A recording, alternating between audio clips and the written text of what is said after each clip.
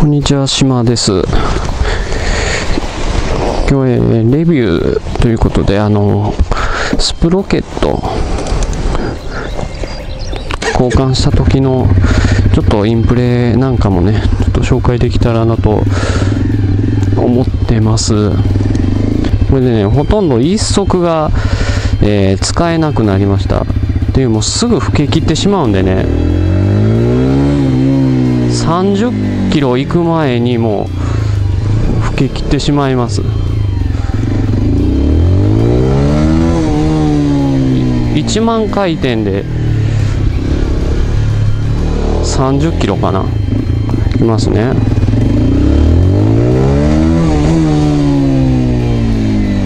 見えましたかねだけ一足がとにかく使えなくなりました。もう発信専用っていうかね。えー U ターンとかね。これはまあやりやすくなったかな。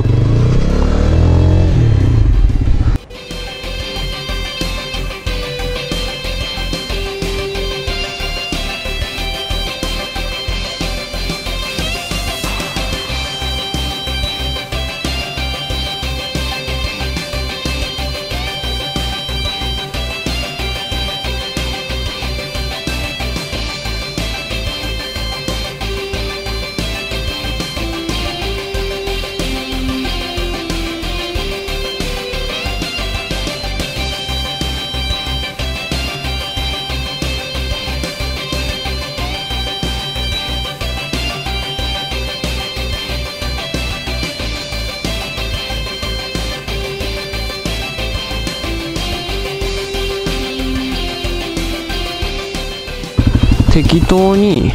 U ターンとかしてみたわけなんですけどもまあすごいやりやすくなりました。1T 変えただけで 14T にしただけで U ターンとかえー、なんていうフルロックのターンね。こういうのがやりやすくなりましたっていうのが1点ね、えー続きまして加速が良くなったっていうことが挙げられます。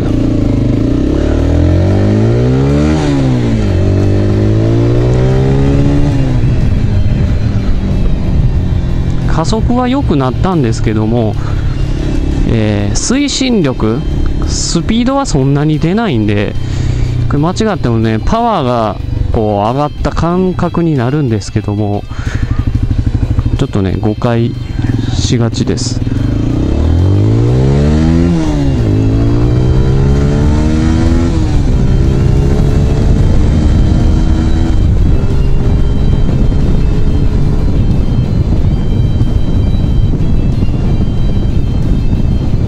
思いっきりねこうレッドゾーンまで回すんですけど速度全然今まだ70キロですからね。純正に比べてちょっとうんなスピードが出なくなりました。60キロ6速でだいたい5000弱、まあ、ちょうど5000ぐらい。60キロね。純正の 15T だったら63キロぐらいは出てたと思うんですけども本当に若干だけピードが出なくなります。8の字とかの立ち上がりの速度だいたい20キロぐらいなんですけども以前はこう3000回転ぐらいまあ U ターンでもそうなんですけども立ち上がりの速度この3000回転ぐらい前はそうだったんですけどもそれが若干500回転ぐらい上がってこのブリブリ感がこう改善された感じ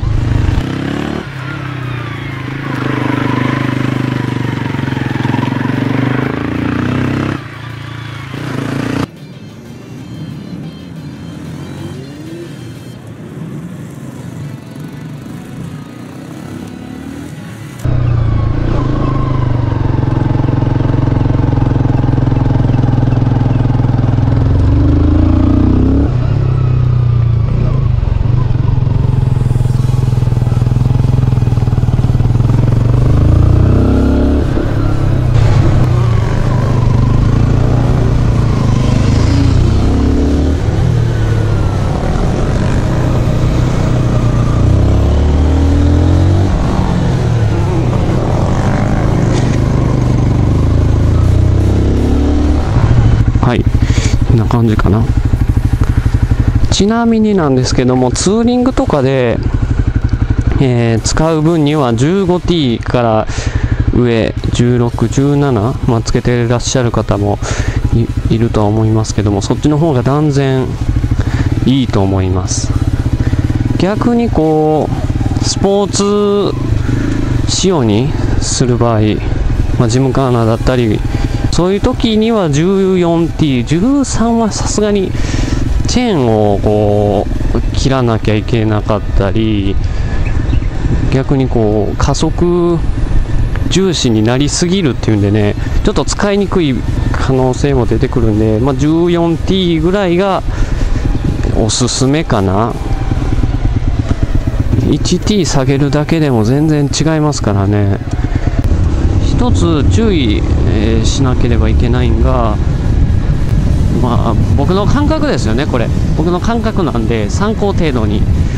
あのー、14T の場合はこう回転は上がるけどスピードが出ないんで、うん、見た目にこう速く感じない。っていう、まあ、デメリットではないんですけどもその代償というか。まあ言うたら株みたいな感じ。もうなんかミニバイクっていうまあまあまさにミニバイクって感じなんですけど回転は上がるけど速度は出ないっていう。でもまあこれが使いやすいので、まあ、そんなにデメリットには感じないかな。常用回転数がこう高くなるんでアクセルのこうレスポンスというかは良くなりますね。なのでジムカーナとかやられる方は加速重視にすることぜひおすすめですね。ハイギア度にしてこう一足でいこうかなとも思ったんですけどもチェーンの調整範囲の中で、えー、加速良くしたいなと思ったらまあ 1T 下げるんがまあベストかなと思いましたね。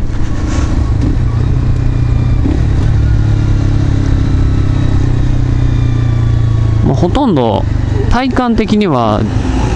純正と変わらないんでそこまで気になるほどの使いにくさっていうのはなかったですねというわけでまあ U ターンがしやすくなるし低速でも、えー、結構回ってくれる。加速重視のスプロ系のレビューでした。ちょっと分かりにくいかもしれないんですけども。はい以上です。